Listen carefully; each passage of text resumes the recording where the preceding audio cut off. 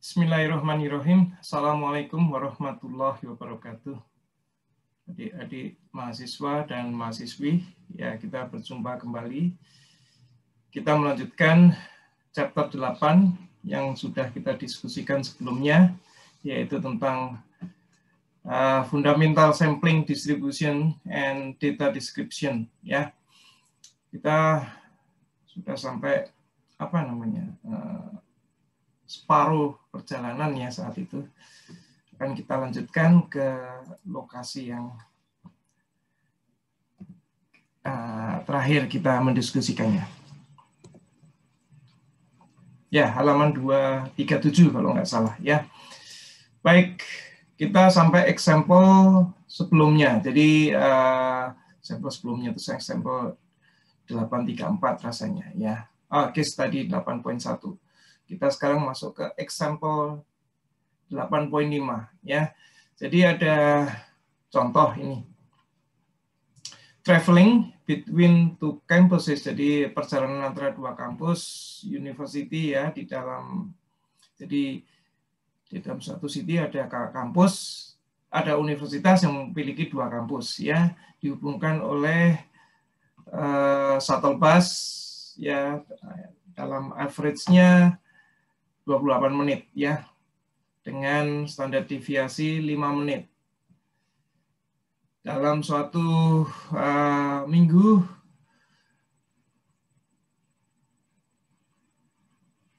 uh, biasanya si bis ini melakukan apa namanya uh, perjalanan 40 kali. Jadi kita lihat di sini. Pertanyaannya adalah what is the probability that the average transport times was more than 30 minutes? Ya, jadi sebelumnya dihitung rata-ratanya adalah 28 menit ya. Sekarang pertanyaannya setelah kita lakukan sampel dalam satu minggu ya ada 40 kali perjalanan dan uh, berapa waktunya dalam setiap perjalanan itu average itunya average perjalanannya adalah 30 menit. Jadi di sini assume the mean time is a measure to the nearest minute. Jadi artinya kita menyebutnya bukan 30 menit saja, tapi adalah 30.5 karena akan dibulatkan ke ke 30 yang nantinya dianggap sebagai 30 menit. Jadi yang kita cari di sini kita karena ini sudah dilakukan berkali-kali, mu-nya adalah 20 8 menit sudah dipahami di sini dengan tau atau standar deviasinya kurang lebih ini salah ini. Ini di sini 5 menit, di sini 3 menit ya. Jadi ini harusnya diganti dengan 5 menit. Oke, saya gantinya sebentar. Jadi di sini diganti 5 menit. Ya. Nah, kita akan mencari probabilitas rata-rata X ya. Jadi random variabel rata-rata itu di atas 30 dengan N-nya itu sebanyak sampling yang dilakukan itu adalah 40 kali kan ya. 40 times ya. Uh, since the time is measured on continuous scale to to the nearest minutes ya yang tadi saya katakan yang dikatakan 30 itu sebenarnya sampai 30 setengah ya. Jadi kita menggunakan angka ini ya. Nah, probability dari rata-rata lebih dari 30 ini yang dinyatakan di sini adalah probabilitas apa? Uh, kita tahu ini adalah kalau kita ubah dalam bentuk Z ya Z ya Z normal uh, apa namanya standar normal distribution kan seperti ini ya kita tahu mu-nya ini ini adalah rata-rata dari sampel tersebut ya nah kalau ini Z ini adalah ini kan masih z ya karena ini x ya. Kalau di sini adalah nilainya sendiri. Jadi ini nilai z jika x average-nya adalah 30 setengah. Jadi Z-nya ini harus lebih besar dari nilai ini. Ya, ini ini adalah kita sebut saja di sini adalah ini kadang-kadang membingungkan ini. Ini adalah Z di mana X sama dengan 30 setengah ya. Sedangkan ini adalah C-nya saja. Ya, random variabelnya. Jadi ini adalah value-nya. Jadi kita mencari probabilitas Z-nya ini lebih besar pada nilai Z ini. ya. Nah, di sini kita dapatkan yang ini nilai ini sendiri adalah 3.16. Ya. Nah, Z-nya harus lebih besar pada 3.16. Apa yang harus kita lakukan? Pasti kita melakukan kalau kita lihat gambarnya di sini ya kita adalah mencari di sini kan probabilitas di atas sana. Besarnya adalah berapa ini? 8 per 10 ribu. Ya, sangat kecil ya. Nah, bagaimana kita, ini kan nilai ini itu didapatkan karena kita mendapatkan nilai ini. Ya, nilai ini didapatkan dari ini. Sekarang bagaimana kita mendapatkan nilai 316 ini? eh sorry, bagaimana kita bisa mendapatkan nilai 0,008 ini ya. Jadi kita lihat di uh, ini yang lain sebentar. Ya, tentunya kita lihat di A3 ya. Ya, setnya berapa tadi? Setnya adalah 3.16 ya. Nilai setnya adalah 3.16. Jadi kita cari nilai tiganya dulu, nilai satunya, terus kemudian kita cari nilai 6. Nah, kurang lebih nilainya ini. 9992 ya. Jadi kalau kita kembali lagi ke ke sini. Berarti ini sama dengan apa? Ini ini kaitannya kan tadi dengan nilai berapa? 0.9992 kan. Ini artinya adalah nilai dari sini ke sana. Ini besarnya adalah 0.9992. Jadi sisanya yang ini ke sana adalah 0.0 poinnya 008. Ya, tentunya seperti itu. Karena ini berarti sama dengan 1 minus 0.0 eh 9992. Oke kan? Sama dengan ini. Oke, kita lanjutkan. Nah, sekarang ada topik yang sangat menarik. Kita kadang-kadang punya suatu uh, dua apa namanya dua distribution yang kita hubungkan. Jadi kita punya dua sampling distribution dari kondisi yang berbeda ya kita melakukan sampling, misalnya kita sebut saja A, kemudian kita juga melakukan sampling B, ya dengan jumlah sampelnya bisa saja berbeda-beda, ya. Jadi kita punya akan punya distribusi A dan kita punya distribusi B, ya. Antara A dan B sendiri, ya, itu bisa punya apa namanya rata-ratanya punya selisih ya. Kalau kita seluruh populasinya kita lakukan, mungkin mu A dan mu B itu ada bedanya. Nah, sekarang kalau sampel-sampelnya kita juga akan punya beda ya, XA dan XB itu akan memiliki uh, selisih. Dan kebetulan ya kita melakukannya sampling dari A-nya sendiri adalah kita sebut saja di sini ya. Di sini adalah N1 dan untuk apa? Untuk ini ya. Untuk X1 ya. Yang keduanya adalah N2 untuk X2 ya. Nah, X1 itu mewakili tadi yang saya katakan A, X2 ini rata-rata untuk X2 ini adalah mewakili untuk sampling P ya. Karena A dan B ini kasusnya bisa merupakan dua produk yang sama tapi dari manufaktur yang berbeda ya. Kita lihat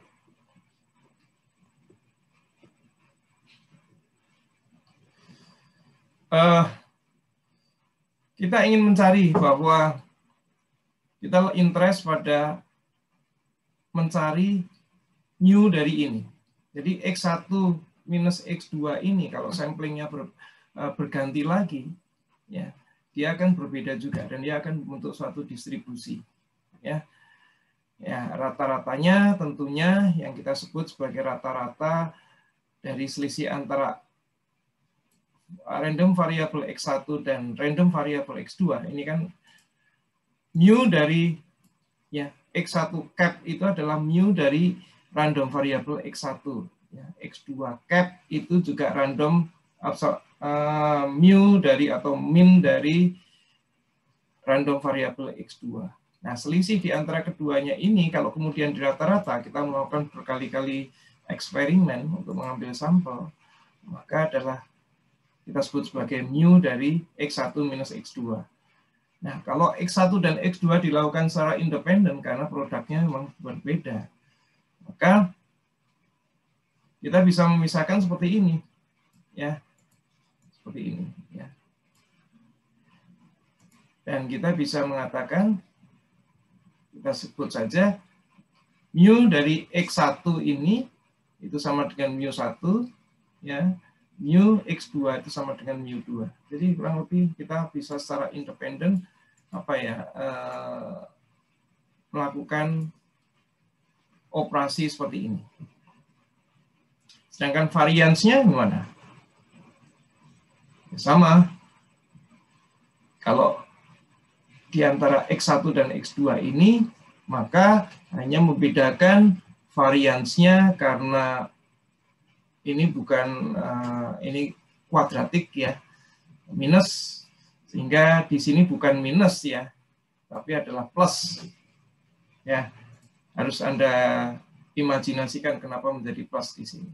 Jadi kalau terjadi plus seperti ini apa yang anda dapatkan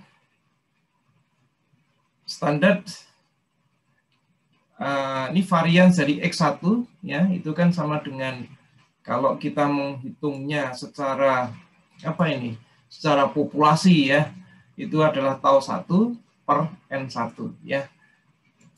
Kita sudah belajar ini tentang ini sebelumnya di bab 8 ya. Oke. Sehingga kalau kita sekarang menyatukannya dalam apa yang kita sebut sebagai central limit theorem kita sudah punya ini ya. Dan satunya lagi kita punya ini maka kalau kita gabungkan bentuknya hubungan antara kedua random sampel tadi ya X1 dan X2 itu bisa kalau keduanya adalah normal distribution maka Z-nya pasti bisa kita bentuk ini distribusi dari X1 minus X2 pun akan membentuk suatu normal distribution ya. Di mana standarnya ya standar normal distribusinya atau Z ini bisa dinyatakan dalam bentuk ini ya. Ini kan random variabel yang baru x1 minus x2 kemudian dikurangi oleh minnya. Ini adalah min di antara kedua random variabel tersebut dan kemudian dibagi oleh ya kombinasi varians di antara kedua uh, random variabel tersebut. Di itu yang kita dapatkan. Ya, nah tentunya kita perlu suatu contoh untuk menyatakan itu ya, untuk untuk memberikan suatu apa namanya feeling in insight ya, uh, pemahaman yang lebih dalam lagi. Contohnya kalau kita punya dua produk cat ya, kita menghitung misalnya pabrik A atau produk A dan produk B ya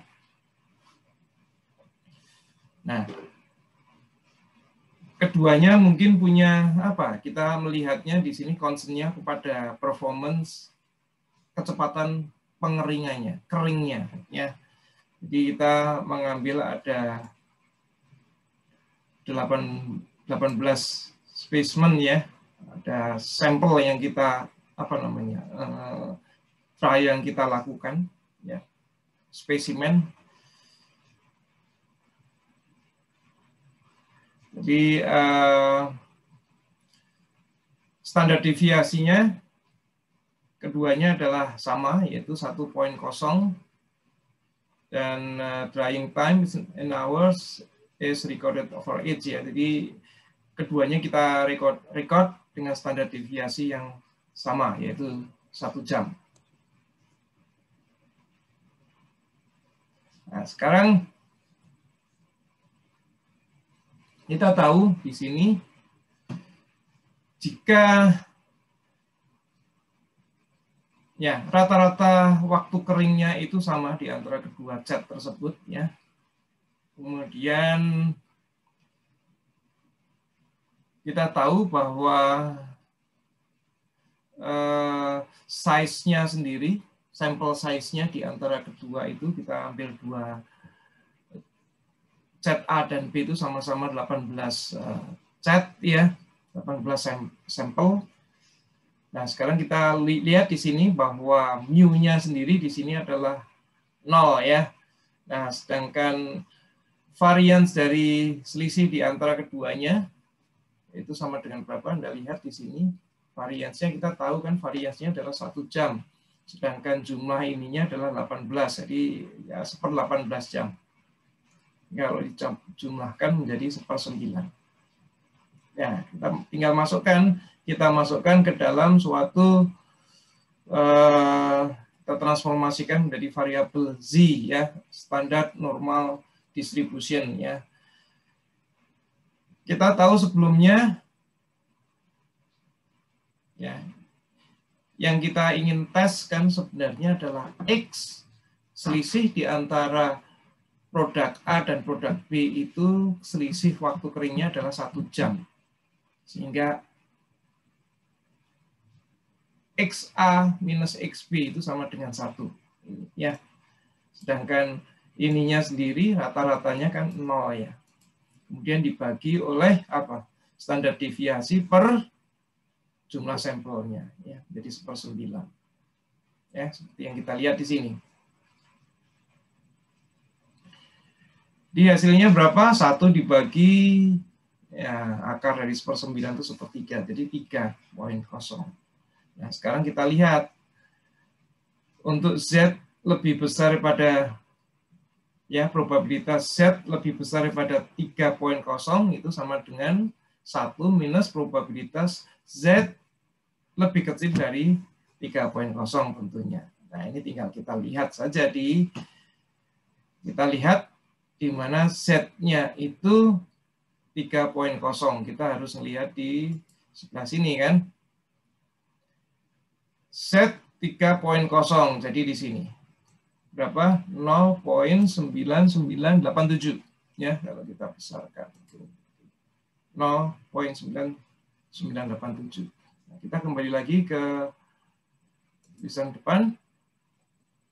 Ya, ini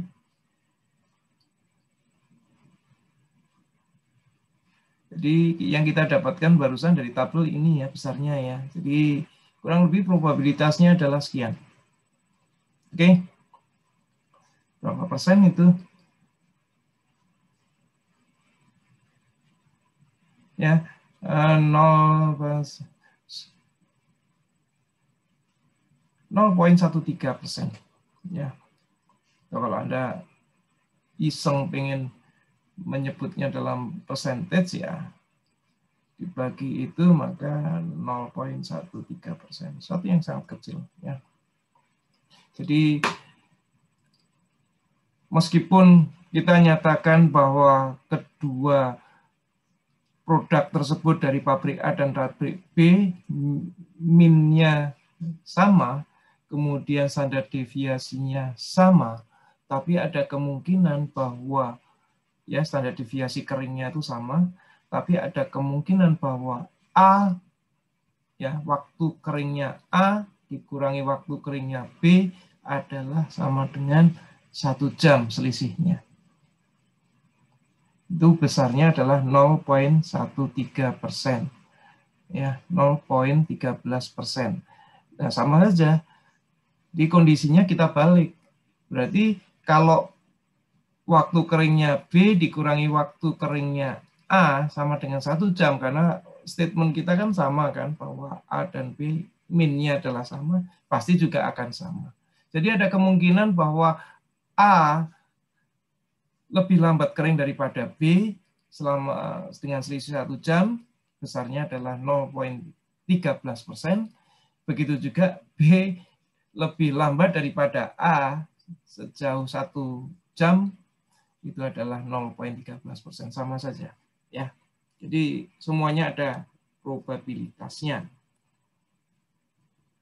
Jadi apa yang kita simpulkan di sini?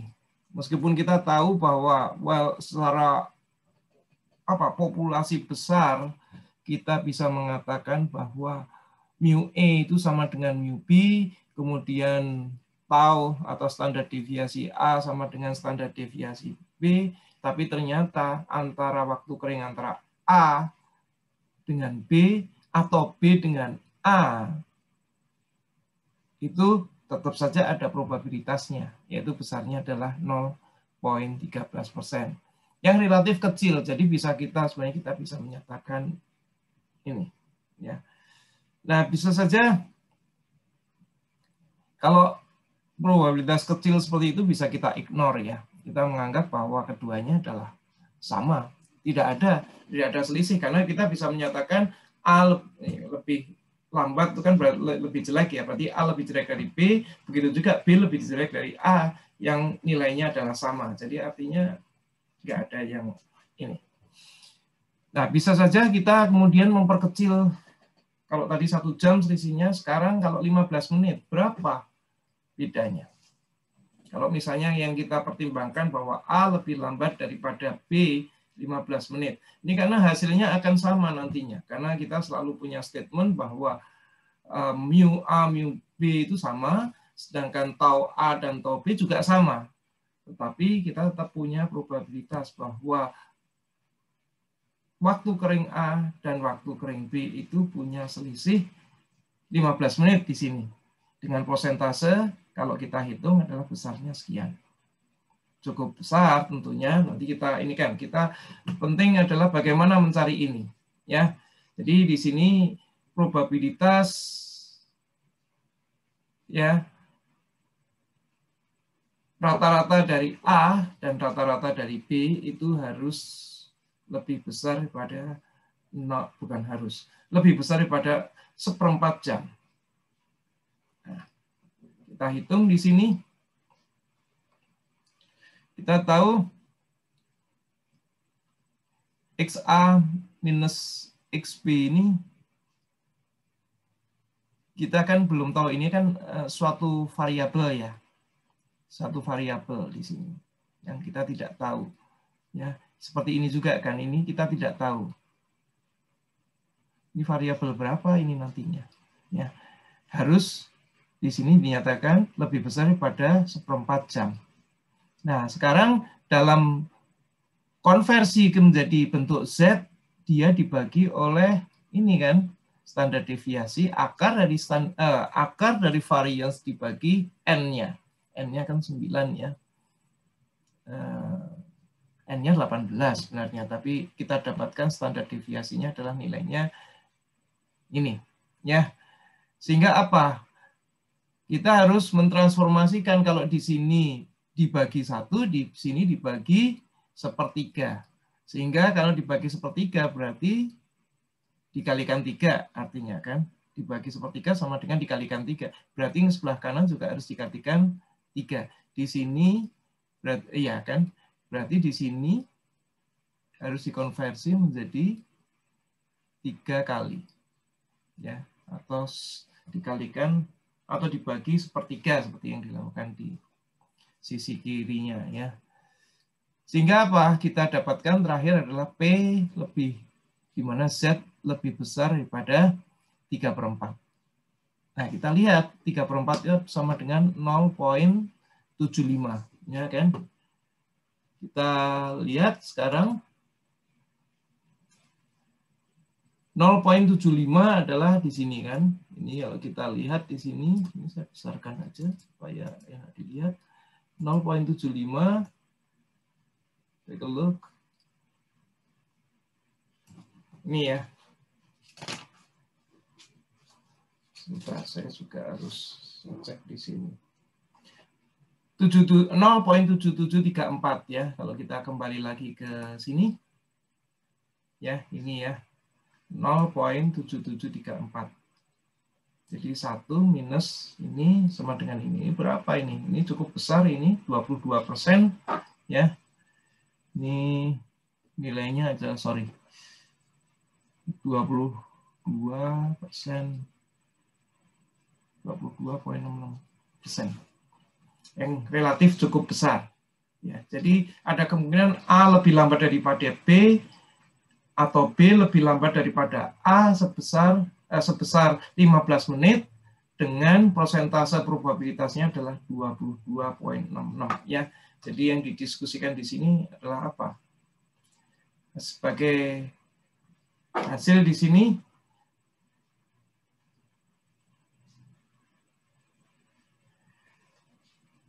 ya meskipun kita punya statement ya bahwa mu A sama dengan mu B, tau A sama dengan tau B, tapi kadang-kadang ini akan misleading ya. Apalagi ini akan mempengaruhi secara uh, kesimpulan nantinya. Oh, A ternyata lebih lambat dari B atau mungkin kalau kebetulan B yang lebih lambat daripada A akan menyebabkan uh, not clear signal ya, memberikan informasi yang agak palsu biasanya. Ini yang seolah-olah bahwa mu A dan mu B itu tidak sama dan kita perlu mengevaluasinya lagi. Ini yang eh, kadang-kadang membuat membuat itu. Jadi memang perlu dilakukan beberapa kali eksperimen ya untuk mengklirkan di mana apa namanya atau ditambah jumlah sampelnya instead of 18 tadi mungkin sampai 100 sehingga apa? Dengan menambahkan sampel itu nilai seperti tadi seper 9 itu akan semakin ya nilai ini seper 9 ini kan 2 per 18 tadi ya. Coba 18 nya kita tingkatkan menjadi 50 maka ini angka ini akan menjadi meledak sehingga nilai ini akan mengecil ya nilai ini membesar mendekati satu sehingga nilai ini akan mengecil. Nilai ininya mengecil sehingga kita bisa mendapatkan itu. Jadi masalahnya di sini adalah jumlah jumlah sampel. Sewaktu kita melakukan sampelnya, kemudian eh, jumlah spesimennya itu terbatas hanya 18. Coba kalau spesimennya adalah 200 atau 100 saja, maka akan hasilnya akan jauh berbeda. Artinya prosentase di sini ini akan mengecil ya. Dan menjadi apa namanya tidak e, membingungkan atau membuat confusion ya. Baik kita lanjutkan di sini. Ada contoh 8.6 ya. Ini ada suatu apa dua manufaktur sebenarnya. Untuk pembuatan tabung TV ya manufaktur A dan manufaktur B. Manufaktur A mempunyai lifetime rata-rata adalah enam setengah dengan standar deviasinya 0,9. Sedangkan B rata-ratanya lebih rendah hanya 6.0 ya. 6.0 years ya, tahun ya. Tetapi standar deviasinya lebih kecil, lebih bagus daripada yang A karena hanya 0.8. Nah, sekarang what is the probability that a random sample of 36 tubes ya tabung dari pabrik A will have a mean lifetime that is at least one year more than the mean time uh, mean lifetime of sample of 49 tubes from manufacturer B ya. Jadi kita masukkan saja. Ini betul kita membuat listnya seperti ini, ini mu 1, ini A ya. Ini A, ini B.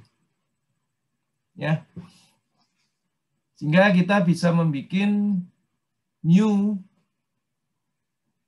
dari X1 min X2 itu adalah sekian. Ya. Begitu juga standar deviasi X1 minus X2 ya sesuai rumus kita masukkan dan ingat ya di sini kebetulan N1 N1 tidak sama dengan N2 ya. Tidak harus. Jadi kita dapatkan nilainya adalah sekian. Nah, kita lanjutkan. Dari situ kita bisa mentransformasikan karena kita sudah punya semua nilainya, maka Z-nya kita dapatkan adalah sekian. Ya, ini Z-nya. Nah, sehingga apa yang kita lakukan adalah kalau kita mencari probabilitas bahwa selisih rata-rata dari X1 minus X2 itu lebih dari 1.0 year ya maka kita transformasikan kan? Z ya. Nah kenapa ini ada 265 ya karena dibagi oleh ini ya. Jadi uh, X1 min X2 lebih besar daripada 1.0 ya. Nah kalau ini diubah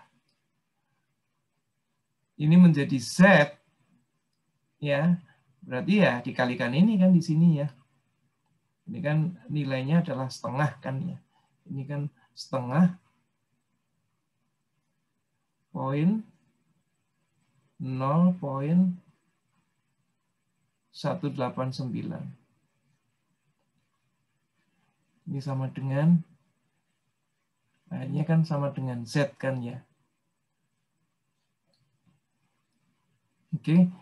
X1, X2-nya sendiri ya, ini sebelumnya kan satu poin ah, ini ini variabel biasa ya. Jadi kalau ini kita berarti kan kita kalikan ke sisi sininya kan ya sebesar 2.65. Jadi ini kita harus lebih besar daripada 26.5. Atau sama dengan 1 minus P probabilitas dari Z less than 2.65. Nah, Anda sudah belajar sebelumnya berapa nilai Z ya probabilitas Z sama dengan atau less dari 265. Ya, kita lihat di sini kan. Jadi yang kita cari adalah 2.6 ya. Kemudian kita cari 5-nya. 0 1 2 3 4 5 ya. 0.9960 ya. Nah, kita kembali lagi di sini.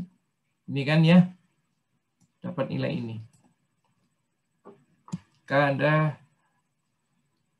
probabilitasnya adalah kurang lebih 0.4 persen. Ya. Kita lanjut.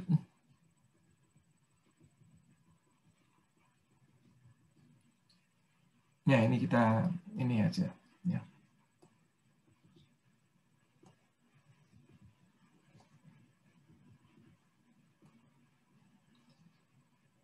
Nah,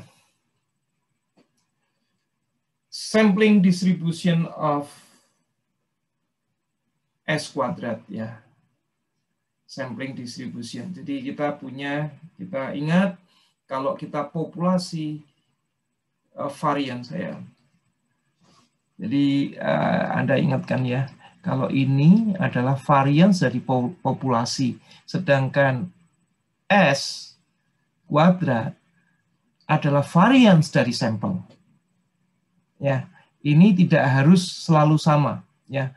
Tapi tujuannya karena apa? Dari populasi sekian itu waktu diambil sampel sebagian standar deviasi, uh, sorry, uh, variansnya belum tentu sama dengan kalau variasinya diambil sekalian populasinya besar kan. Betul kan ya? Nah, bisa saja pada suatu kondisi jika kita tahu ya kita punya asumsi ya selalu asumsi mu-nya kita tentukan dulu mu-nya itu eh, kita tebak ya tetapi kita tidak tahu variansnya berapa nah kita bisa membentuk suatu ya central limit teorem seperti ini ya dengan memanfaatkan di mana di mana kita punya ya random variable x ya yang berbasis kepada sampel yang kita sebut x nantinya. Nah, kemudian kita lihat kita bagi dengan ini. Ini kan awalnya ini kan sama dengan begini ya. Set sama dengan begini ya. Nah, sekarang karena kita tidak tahu tahunya ini berapa. Sedangkan yang bisa kita dapatkan adalah S, S kuadrat atau S ya, kita root square kan. Maka kita bisa saja mendapatkan berbasis pada itu. Ya, jadi uh, kita bisa meminjam S nantinya dalam pengembangan lebih lanjut. Nah, kita ingin melihat hubungan ya hubungan antara karena uh, stand varian sendiri yang diwakili oleh S2 itu S kuadrat tadi itu juga nilainya tidak persis sama dengan itu dia dia pasti ada di sekitar nilai yang sebenarnya yang kita sebut sebagai tau kuadrat ya. Jadi dia akan membentuk suatu distribusi sendiri sehingga kita sebut sebagai uh, sampling distribution of s kuadrat atau variance ya. Sampling distribution of variance. Nah sekarang kita coba pecahkan ya kalau kita belajar dari uh, statistika inference yang sudah kita pelajari pada saat awal dari kelas ini, ya kita punya S kuadrat atau varian dari suatu sampel. Ya, itu sama dengan apa? Sigma dari XI ya. Ya kan? Kemudian dikurangi XI rata-ratanya. Ya. Ini I tentunya. I sama dengan 1 sampai dengan N jumlahnya ya. Ya saya menyebutnya di sini ini sebenarnya bukan I ya, di sini X saja ya. Maka dibagi N minus 1. Dengan asumsi bahwa N-nya ya dari referensi di sini kalau N kurang dari 30 maka kita bisa menyebut pakai rumus ini karena saya A1 masih bisa masih bisa dianggap kalau N-nya itu tapi begitu lebih besar daripada 30 N N-nya maka kita bisa mengignore satunya ya. Jadi dengan asumsi bahwa jika jumlah sampelnya itu kurang dari ya dari uh, halaman berapa? Saya lupa statement bahwa n-nya itu kecil kurang dari 30 maka kita menggunakan rumus ini ya. Di mana minus satu itu adalah pengurangan degree of freedom ya. Karena ketidaktahuan dari ininya. Ketidakjelasan sewaktu kita menentukan x barnya. Jadi rata-rata. Ini yang kita anggap X bar itu adalah rata-rata dari dari keseluruhan populasi padahal itu adalah salah. Ya. Jadi ini minus satu adalah pengurangan degree of freedom-nya. Oke. Nah, kita bisa mengatakan bahwa N minus 1 ini dikalikan S kuadrat itu sama dengan sigma I sama dengan 1 ke N dari XI minus X rata-rata dari sampel tersebut. Kuadrat ya ini kuadrat. Nah sekarang kalau kita punya persamaan seperti ini, Anda lihat ya, persamaan yang ada di kiri sini, itu sama dengan apa? Anda pecah di sini kan. Ini ini kalau kita mau memecah ini sama dengan supaya mengikuti yang ada di sini ya. I sama dengan 1 sampai N ya. Ya Anda akan mendapatkan kalau ini ini besar aja maka X I min X capnya atau X bar ini kuadrat kan. Berarti ini kali ini ya ditambah 2 xi xi min x bar kalikan berapa? x bar minus mu ya. Plus tentunya yang terakhir kan x bar minus mu ya dalam kurung kuadrat. Hingga bentuknya menjadi seperti ini ya. Nah, kemudian yang terakhir ini bisa kita nyatakan kurang lebih ya. Kurang lebih ini menjadi n. Ini kalau Anda jumlahkan terus ya.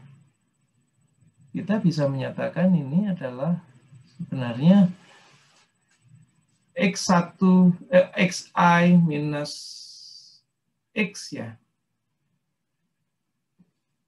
Ini kan berarti ini bisa kita nyatakan sebagai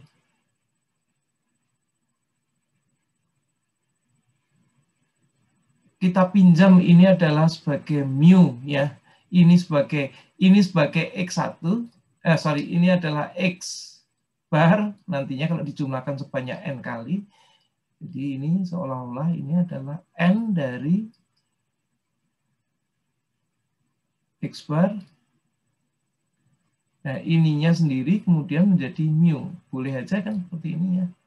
Kamu ngakuan asumsi. Sehingga ini bukan sama dengan, tapi kurang lebih. Boleh aja. Di sini kita punya N, 2N. Ini kan jadi kuadrat menjadi ya. Sama dengan ini. Ini adalah N di sini. Oh sorry, ini adalah minus. Sorry, ini tadi terbalik ya. Ini mu, ini uh, jadi bingung saya. Mu minus x bar ya. Jadi ini menjadi minus nantinya. Jadi ini menjadi minus ya. Ini menjadi minus. Minus 2. 2n ini. Jadi menjadi plus n ya atau saya salah? Sebentar, sebentar. Uh, sorry. Oh, oh, I know, I know, I know. Ini minus, ah, ya, ya, ya, ya. Sorry, ini salah saya. Ini sama dengan berapa? Sama dengan 0. Jadi ini kita bisa mendelete ini, ya, maaf. Tadi statement saya salah. Ini mendelete. Jadi yang survive di sini saja. Ini n kali kan dari ini karena ini setiap kalinya setiap apa namanya i berubah ini tidak berubah. Jadi kita sama dengan mengalihkan itu. Sehingga yang sebelah sini bisa kita hilangkan kita hanya punya ini. Jadi ini sama dengan benar sama dengan. Oke. Okay. well, nah sekarang kita punya persamaan seperti ini ya. Jadi artinya apa ini itu sama dengan n minus 1 s kuadrat kan ya. Yang ini, sorry. Ini sama dengan ini. Jadi ya tinggal Anda sisipkan aja kalau dibagi ini maka Anda dapat ini. Oke. Nah, yang ingin dijelaskan di sini adalah kemudian Anda punya persamaan ini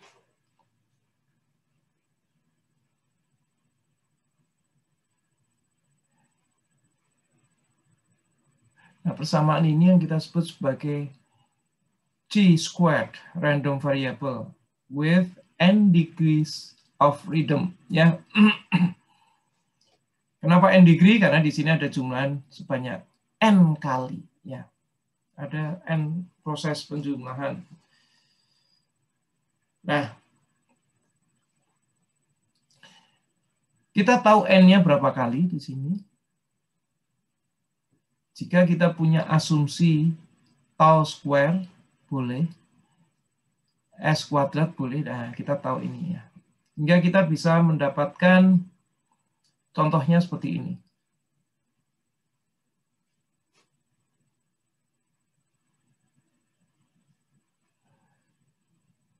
Uh, ini um, sebentar saya sambil jadi kita lihat di sebelah sini aja ya sebelah uh, sini aja yang term yang ini ya, term yang ini. Tadi kan sudah disebutkan di atas ya. N minus 1 S kuadrat per tau kuadrat. Itu sama dengan sigma XI ya. Oh, oh, oh, oh, ini, ini saya salah, saya selalu sorry. Ini, ini salah ini. Ini bukan ini. Harusnya sama dengan ini ya. Oke, sorry.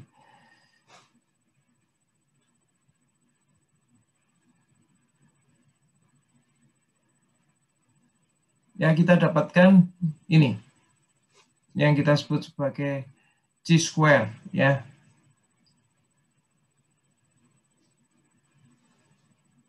Nah, apa hubungannya dan apa ininya? Nah, sekarang kan kita meramalkan ini. Karena kita tidak bisa, kalau kita tidak punya data tahu dari itu, apa namanya, yang kita punya adalah uh, S square saja dari sampel-sampel yang kita lakukan ya eksperimen yang kita lakukan kita punya. Tapi kita tidak punya data populasi secara keseluruhan. Maka kita bisa memanfaatkan data ini. G square ini ya. Yang kalau di ini kan ya saya mencoba ini distribusi dari G square-nya adalah ini ini kurang ini ini harusnya ditulis begini jadi C square ya. Jadi ini adalah distribusinya. Distribusinya dinyatakan dalam bentuk seperti ini. Ya. Jadi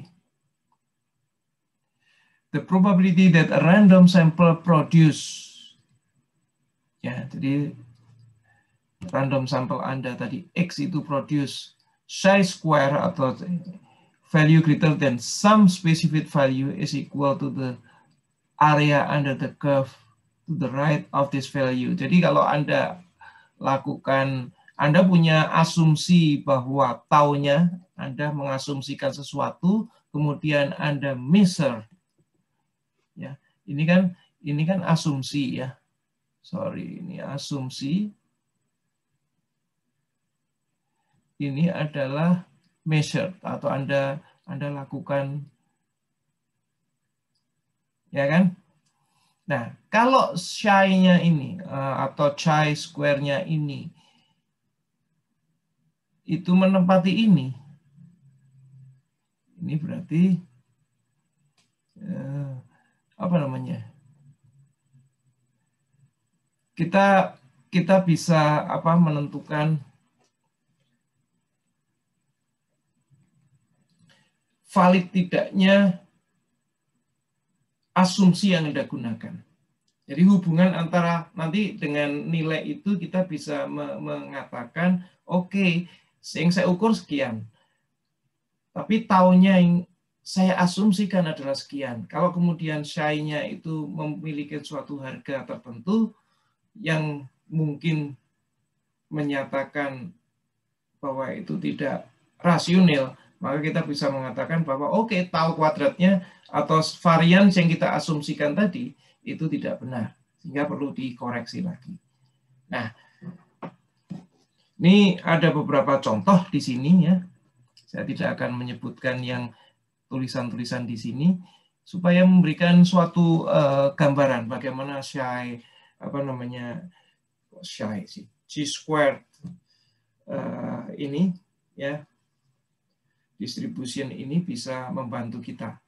Contohnya begini, suatu pabrik baterai mobil ya menggaransikan bahwa menggaransikan itu kan belum tentu nilai yang benar.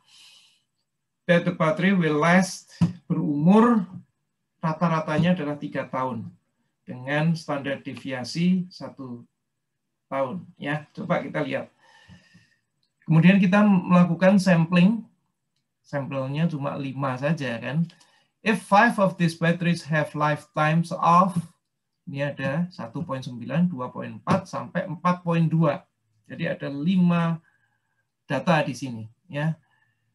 Should the manufacturer still be convinced. Nah, tetap yakin. Apakah yakin nanti kalau kita dapatkan uh, ininya, apa namanya nilai ini ya? That the batteries have standard deviation of one year. Apakah kita yakin nantinya standar deviasi? Karena kita dapatkan standar deviasi yang ada di sini adalah nilainya adalah ini. Bukan standar deviasi ya. Variansinya adalah sekian, ini yang kita ukur, ini measure. Ya. Terus ini adalah dengan asumsi bahwa ininya ada ini asumsi, asumsi kan ini ya.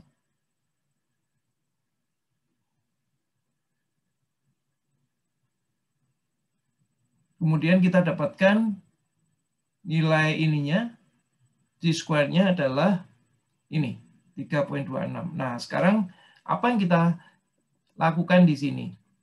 Ya. Kita punya 4 degree of freedom.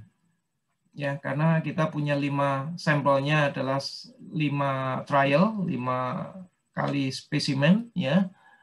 Jadi 5 kurangi 1 adalah 4 degree of freedom. Nah, sekarang kita lihat uh, 3.26 itu lokasinya di mana? Ya, 3.26 itu lokasinya gimana? Ini kan yang perlu kita garis bawahi kan. Jadi eh, kita lihat sebentar di sini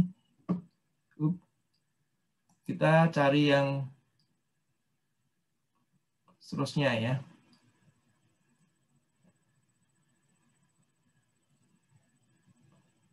Di square yang mana? Nah, ini dia. Kita empat, ya.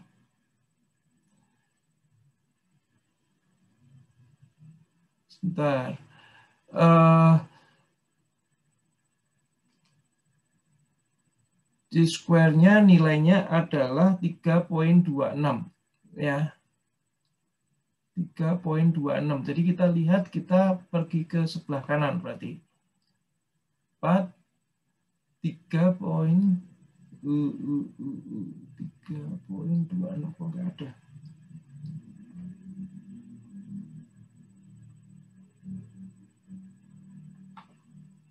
Nah, kurang lebih di di sini harusnya kan ya. 3.26.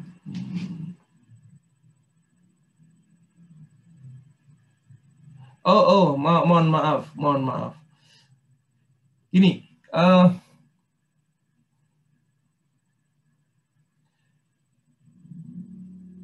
kalau kita menyatakan suatu konfi, uh, nilai confidence-nya adalah 95%, ya.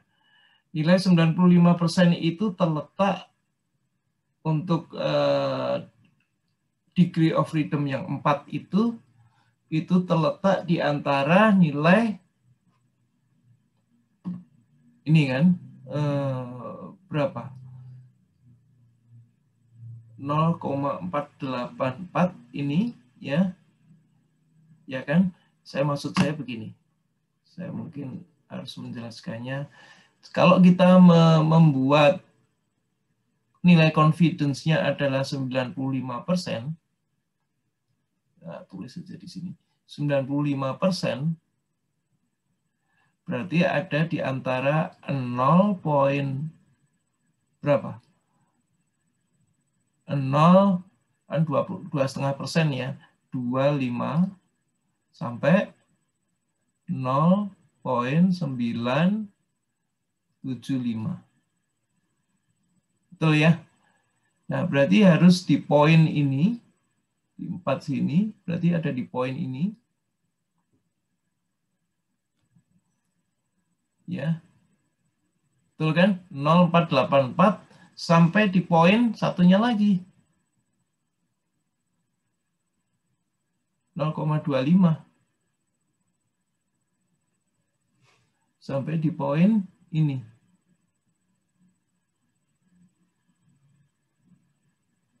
Nah, ini nilai-nilai yang ada di tengah ini adalah entries untuk psi square ya, untuk psi atau kita sebut c square itu tadi ya.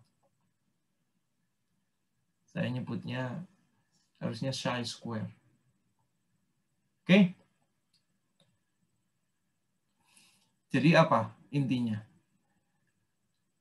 Nilai 3.26 itu ada di antara tadi nilai di atas tadi berapa tadi? Di antara karena kita yakin 95% di antara itu itu adalah 95% valid. Jadi antara 0.484 sampai ya kan sampai nilai tadi 11.143. Ya, itu yang dinyatakan di sini. Artinya apa? Artinya nilai size square tadi ya sebesar 3.26 ini ini valid. Ya, seperti yang dinyatakan di sini. Artinya bahwa variance sebesar ini is reasonable. Ya, and therefore the matter has jadi artinya apa? Perhitungan ini reasonable artinya tidak ada masalah kalau kita menyatakan bahwa uh, tau square-nya adalah sama dengan jadi asumsi kita menyatakan bahwa variansnya adalah uh, tau square sama dengan satu itu adalah bisa dipercaya atau reasonable. Therefore, the um, manufacturer has no reason to suspect that the standard deviation is other than one year. Jadi kita masih bisa, di si pabrik itu masih bisa menggunakan informasi deviasi itu. Nah, kita lanjutkan sekarang.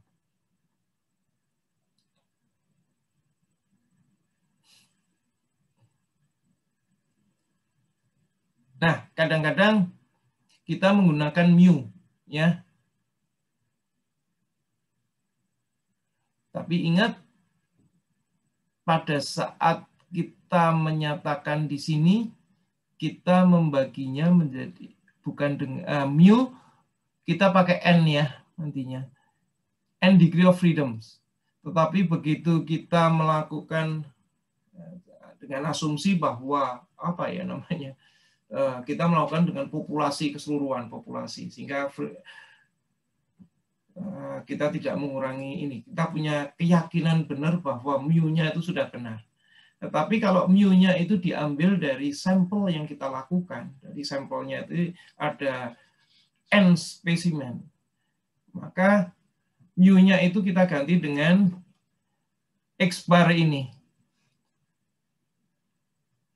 Artinya apa? Dari sekian parameter itu ada satu parameter yaitu yang kita sebut sebagai x bar ini yang harusnya menjadi mu ya.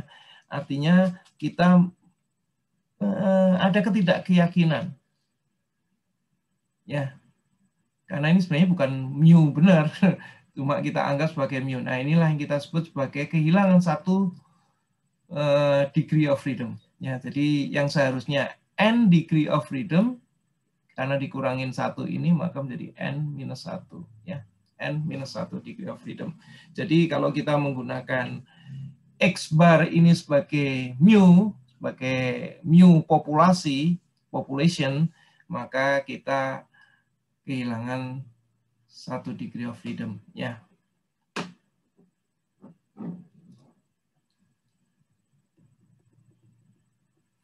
Kemudian ada lagi yang mungkin terakhir ya masih ada T, ada masih F. Saya nggak akan menjelaskan semua akan panjang sekali nanti. Yang lain uh, adik-adik aja yang mempelajari sendiri.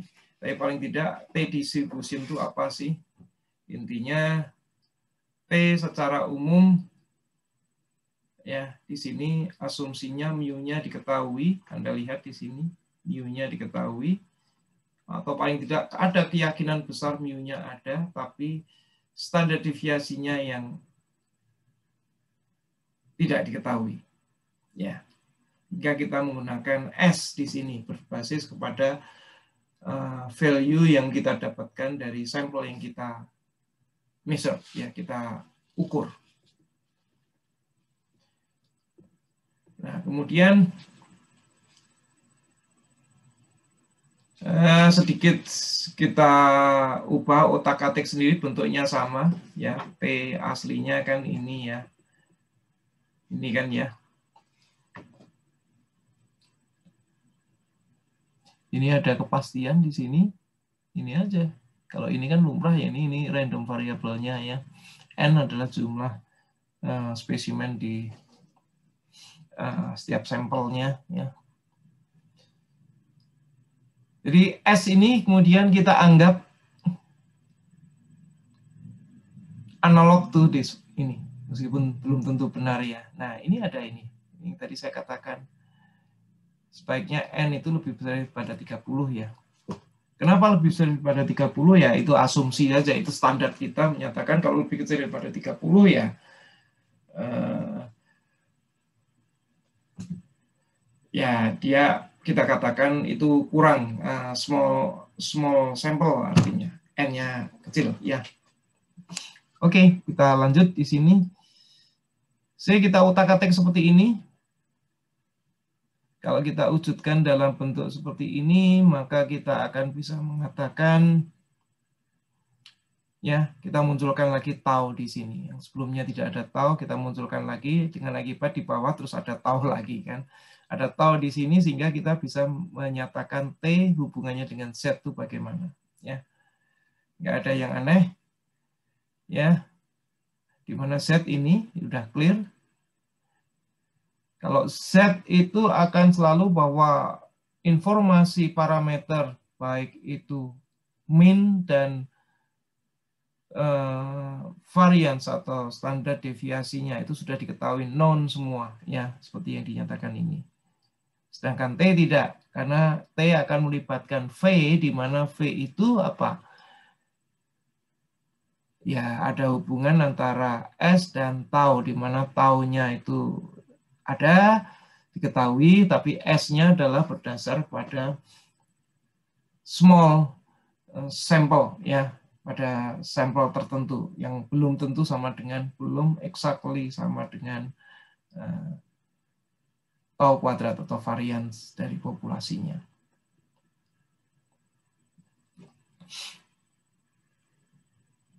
Jadi kita lihat di sini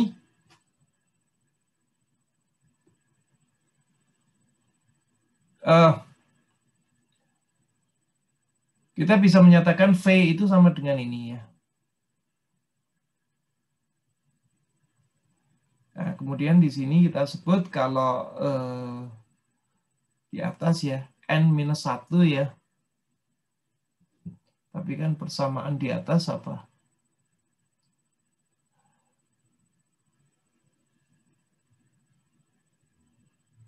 Eh, v, v adalah itu, sedangkan kita kan ini kan